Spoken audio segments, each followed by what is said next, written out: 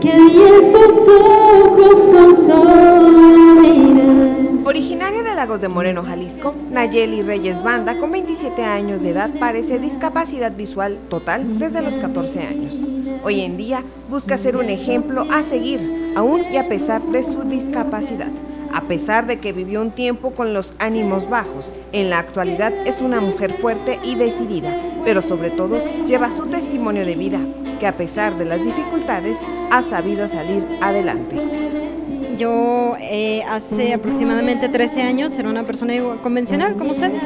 Llevaba una vida, se puede decir que normal, este, no tenía ninguna discapacidad, entonces pues a raíz de un problema eh, pierdo la vista y pues ahora sí que eh, lo que fue el primer año de mi vida estuve así como que en tratamiento y todo eso, pero ya una vez después de, pues sí, de este proceso, de este duelo que viví, eh, pues me puse a pensar, tenía dos opciones, había como dos caminos en mi vida.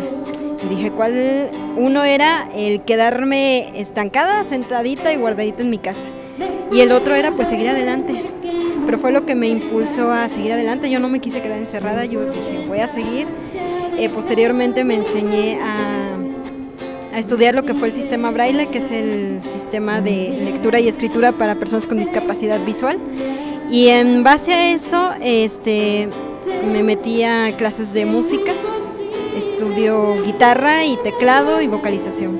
Eh, lo que es la música me ha ayudado a seguir adelante. Mm, de repente pues me, me, contratan para ir a eventos, para dar pláticas, mi testimonio de vida. Pues yo era muy retraída por lo mismo de...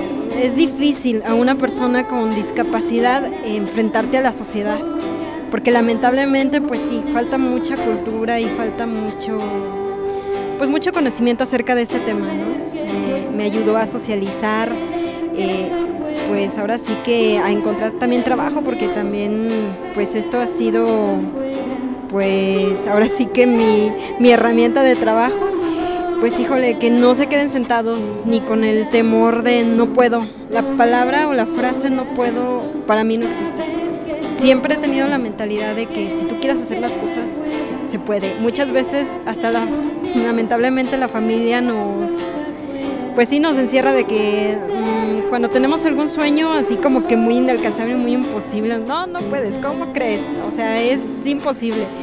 Y pues no, yo pienso que, como les digo, o sea, está en uno, en la actitud, en la voluntad de uno, el decir, yo puedo, yo quiero y lo voy a hacer. Con imágenes de Santiago Gámez, Erendira González, reportera, Mega Noticias.